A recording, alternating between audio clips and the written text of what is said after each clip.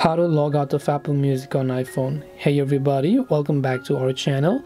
In this video, I'm going to guide you on how you can log out of Apple Music on iPhone, so make sure to watch the video till the very end.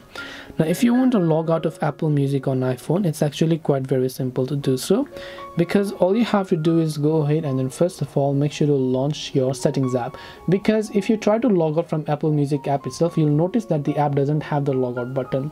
But don't worry, it is simple to log out. Open up settings on your iPhone, tap your Apple ID profile, then go to media and purchases, then tap on sign out.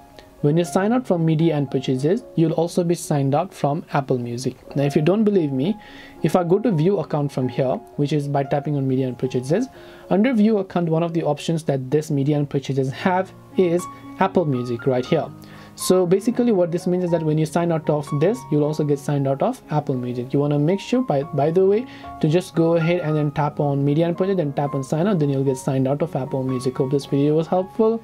If you have any questions feel free to leave them down below. Thank you for watching till the very end of this tutorial and see you soon in the next video